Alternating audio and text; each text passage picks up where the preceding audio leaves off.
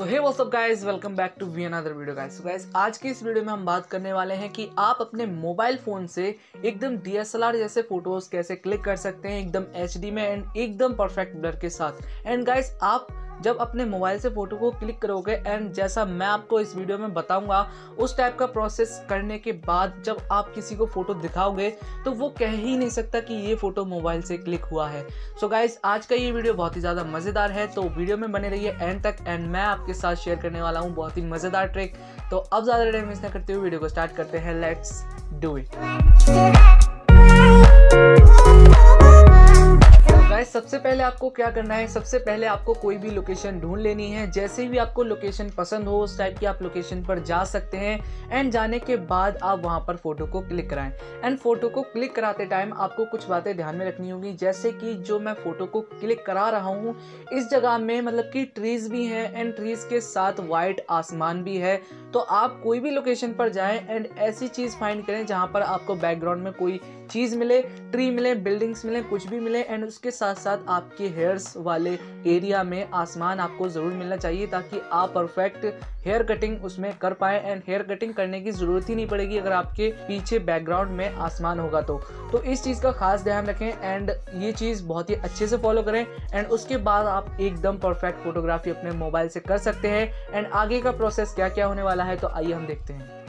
सो so सबसे पहले आपको अपने फ़ोन से फ़ोटो को क्लिक करना होगा एंड फ़ोटो को सबसे पहले रोटेट करने के बाद आप कोशिश करें कि लो एंगल से फ़ोटो लें ताकि आपका फ़ोटो और भी ज़्यादा प्रोफेशनल लगे। एंड उसके बाद आप अपने फ़ोटो को लो एंगल से क्लिक कराएँ एंड कोई भी पोज जो आपको पसंद हो उसको क्लिक कराएँ एंड क्लिक कराने के बाद आप कैमरे के सामने से हट जाएँ एंड एक बैकग्राउंड का फ़ोटो ले लें। एंड गाइस फ़ोटो लेते टाइम आपका जो भी फ़ोटो ले रहा है, उससे बोलिए अपना हैंड बिल्कुल भी शेक ना करे एंड दोनों फ़ोटो एकदम परफेक्ट ले। एंड उसके बाद आपके दोनों फ़ोटो कुछ इस टाइप से दिखेंगे। एंड गाइस सबसे पहले आपको अपने बैकग्राउंड को शेयर करना होगा स्नैपशीट एप्लीकेशन में। एंड अगर आपके पास स्नैपशीट एप्लीकेशन नहीं है तो आप प्ले स्टोर से इजीली डाउनलोड कर सकते हैं। एंड उसके बाद आपको यहाँ से डायरेक्टली शेयर करना होगा स्नैपशीट एप्लीकेशन में अपने फ़ोटो को। एंड शेयर करने के बाद आपका फ़ोटो यहाँ पर ओपन हो जाएगा। ओपन होने के बाद आपको सबसे पहले पेंसिल वाले आइकन में जाना है एंड लेंस ब्लर ऑप्शन में जाना है। एंड लेंस ब्लर ऑप्शन के अंदर जाने के बाद आपको सबसे पहले करना होगा swipe up and vignette strength पर क्लिक करने के बाद आपको यहाँ से बिल्कुल माइनस कर देना होगा ताकि आपकी जो आउटसाइड होती हैं, वो ब्लैक बिल्कुल भी ना हो। उसके बाद आपको ये जो गोला मिलेगा, इस गोले को आपको पिंच करना होगा एंड जहाँ पर आप खड़े हुए थे, वहाँ पर इसका फोकस सेट करना होगा, जिस टाइप से कैमरा फोकस करता है। तो जहाँ पर आप खड़े हुए थे, बिल्कुल आप अपने पैरों के पास एकदम परफेक्ट फोकस यहाँ पर सेट कर दीजिए, जैसा आपको ठीक लगे। तो जिस टाइप से मैं कर रहा हूँ, इस टाइप से आप सेम कर सकते हैं एंड उसके बाद आपका एकदम परफेक्ट फोकस यहाँ पर सेट हो जाएगा एंड राइट पर आप क्लिक कर दीजिए। तो आप देख सकते हैं यहाँ पर हमारा ज़मीन पर कितना परफेक्ट फोकस हो चुका है। जिस टाइप से डीएसएलआर करता, उसी टाइप से ये सेम फोकस यहाँ पर हो चुका है। तो यहाँ पर इसको सेव करने के लिए आप शेयर वाले आइकन पे क्लिक कीजिए। उसके बाद आपका इमेज इजीली सेव हो जाएगा। तो सेव होने के बाद अब हमको या तो आपको पिक्सार्ट या फिर पिक्से प्रो में से कोई भी एक एप्लीकेशन यूज़ करना है। तो हम चलते हैं। सो so गाइज़ मैं आ चुका हूँ पिक्सी प्रो एप्लीकेशन में एंड यहाँ पर सबसे पहले हम इंपोर्ट करेंगे अपने बैकग्राउंड को एंड ये प्रोसेस आप पिक्सार्ट में भी कर सकते हैं। अगर आपको वो ज़्यादा पसंद है तो उसमें कर सकते हैं, लेकिन यहाँ पर हाई क्वालिटी में हमारा सब कुछ हो जाएगा, इसलिए मैं यहाँ पर ये यूज़ कर रहा हूँ। तो सबसे पहले हम बैकग्राउंड को मैक्सिमम साइज़ चूज़ करने के बाद यहाँ पर रख देंगे।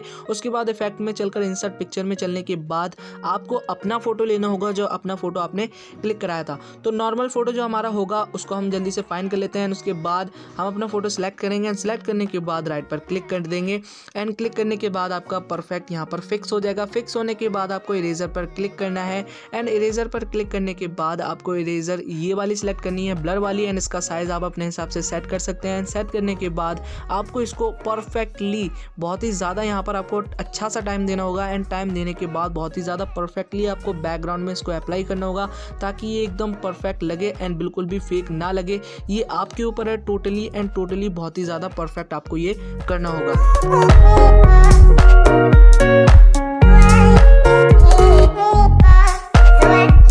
सो गाइस कंप्लीट होने के बाद ये एकदम परफेक्ट डीएसएलआर जैसा शॉट लगेगा एंड इसके बाद अब हम इस फ़ोटो को रीटच करेंगे। तो रीटच करने से पहले एक्सपोर्ट कर लेते हैं हम इस इमेज को। तो यहाँ से हमारा इमेज हो जाएगा सेव एंड अब हम चलते हैं लाइट रूम एप्लीकेशन में।